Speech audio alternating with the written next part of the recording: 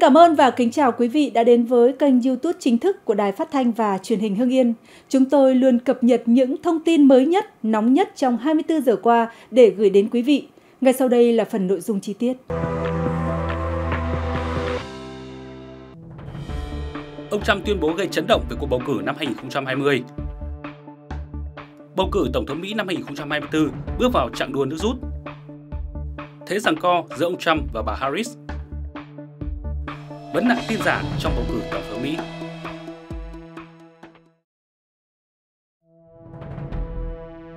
Ông Donald Trump tuyên bố gây chấn động về cuộc bầu cử tổng thống năm 2020. Trong cuộc phỏng vấn với Fox News được công bố hôm 1 tháng 9, cựu tổng thống Mỹ Donald Trump đã tuyên bố gây chấn động về cuộc bầu cử năm 2020 giữa lúc ông đang đối mặt với cáo buộc nỗ lực lật ngược kết quả bầu cử. Cựu tổng thống Trump khẳng định ông có đầy đủ quyền để can thiệp cuộc bầu cử tổng thống năm 2020 giữa lúc đối mặt với cáo buộc lật ngược kết quả.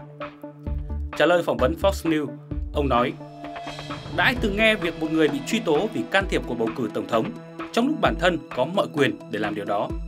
Song tỷ lệ ủng hộ vẫn tăng lên sau khi bị truy tố. Kết quả thăm dò thường đi xuống khi điều này xảy ra.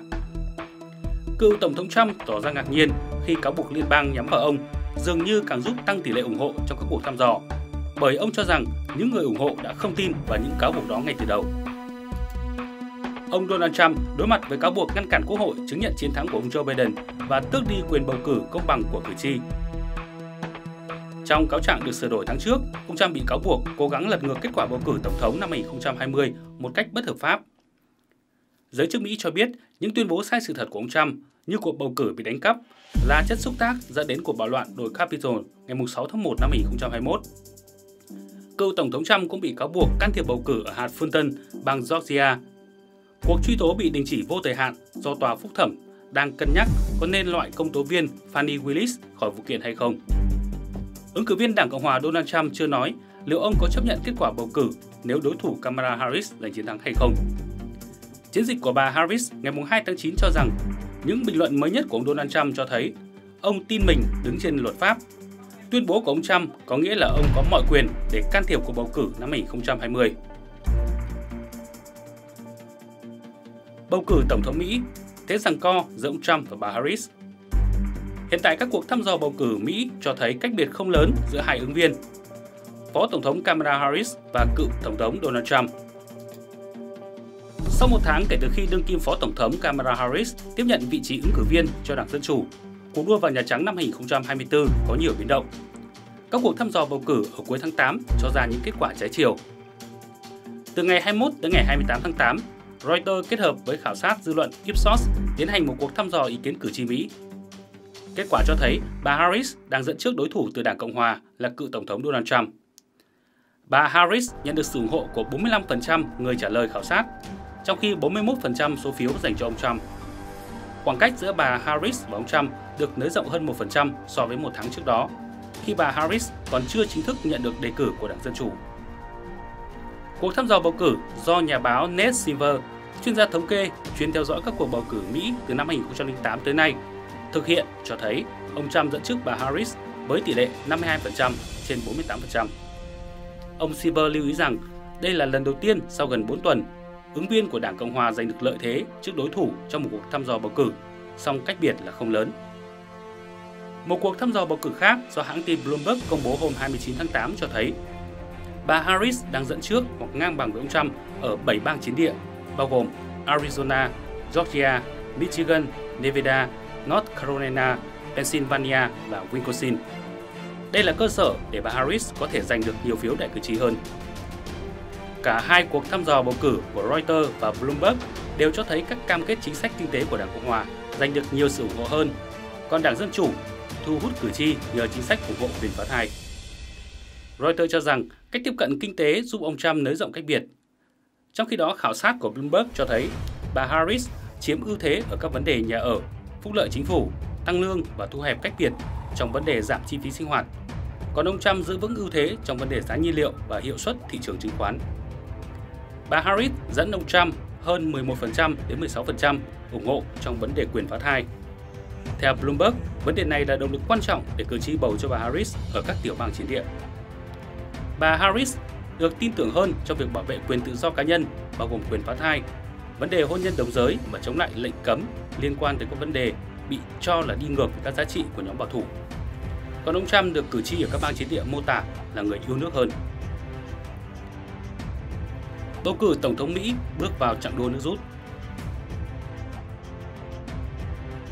Chặng đua nước rút bầu cử Tổng thống Mỹ đã chính thức khởi động với việc ứng cử viên Đảng Dân Chủ, Phó Tổng thống Kamala Harris tham gia chiến dịch vận động tranh cử tại bang chiến địa quan trọng Pennsylvania. Hôm 2 tháng 9, theo giờ địa phương, tức ngày 3 tháng 9 theo giờ Việt Nam, đương kim Tổng thống Joe Biden, đích thân cùng bà Harris tham gia sự kiện này để thể hiện sự ủng hộ đối với ứng cử viên của Đảng Dân Chủ. Đây là lần đầu tiên Tổng thống Biden cùng Phó Tổng thống Harris tham dự một sự kiện vận động tranh cử kể từ khi bà Harris chính thức trở thành ứng cử viên Tổng thống của Đảng Dân Chủ. Qua đó gửi đi thông điệp ủng hộ mạnh mẽ mà ông dành cho bà Harris. Trong bài phát biểu tại sự kiện nói trên, Tổng thống Biden đã dành những lời tán dương cho bà Harris và kêu gọi các cử tri ở Pennsylvania bỏ phiếu cho nữ chính trị gia này. Tổng thống Biden nói rằng việc chọn bà Harris làm phó tổng thống là một quyết định tốt nhất trong nhiệm kỳ tổng thống của ông. Đồng thời nói với các thành viên công đoàn rằng việc bỏ phiếu cho bà Harris trong cuộc bầu cử tổng thống năm 2024 sẽ là quyết định sáng suốt nhất mà bạn có thể đưa ra. Đáp lại, bà Harris ca ngợi ông Biden là một trong những vị tổng thống đem lại sự thay đổi lớn nhất cho nước Mỹ. Phó Tổng thống Kamala Harris cũng cam kết nếu đắc cử sẽ xây dựng nền kinh tế có lợi cho người lao động Mỹ. Pennsylvania được coi là chiến trường quan trọng trong cuộc bầu cử Tổng thống Mỹ vào ngày 5 tháng 11 tới đây, nơi bà Harris đối đầu với cựu Tổng thống và ứng cử viên của Đảng Cộng hòa Donald Trump. Vấn nạn tin giả trong cuộc bầu cử Tổng thống Mỹ trên các mạng xã hội Mỹ, gần đây xuất hiện hình ảnh ca sĩ Taylor Swift ăn mặc giống chú Sam, một trong những biểu tượng của nước Mỹ ngụ ý cô ủng hộ ứng cử viên tổng thống của Đảng Cộng hòa Donald Trump. Nhưng đó chỉ là hình ảnh sai sự thật do trí tuệ nhân tạo gây ra. Tin giả gồm văn bản, hình ảnh và video được chỉnh sửa kỹ thuật số, có thể khiến mọi người lầm tưởng như ai đó đang nói hoặc làm điều gì đó, nhưng thực tế họ không làm. Khi cuộc đua vào Nhà Trắng giữa ông Donald Trump và bà Kamala Harris trở nên gay gắt hơn, tin giả càng xuất hiện nhiều và buộc các chuyên gia về tin giả phải gióng lên hồi chuông cảnh báo về độ rủi ro của trí tuệ nhân tạo AI. Các nền tảng như Facebook và X, trước đây là Twitter, có các quy tắc chống lại hình ảnh, âm thanh và video bị chỉnh sửa, nhưng cũng đã phải vật lộn để thực thi các chính sách này khi nội dung do AI tạo ra tràn ngập trên Internet. Đối mặt với áp lực, các nền tảng tập trung nhiều hơn vào việc dán nhãn nội dung và kiểm tra thực tế, thay vì gỡ bỏ các bài đăng.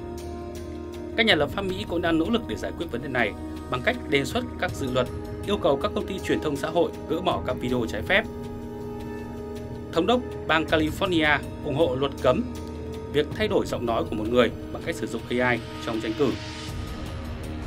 Tỷ phú Mỹ Elon Musk, chủ sở hữu X, ủng hộ ứng cử viên Donald Trump thừa nhận đã sử dụng trí tuệ nhân tạo để nhại giọng nói của bà Harris.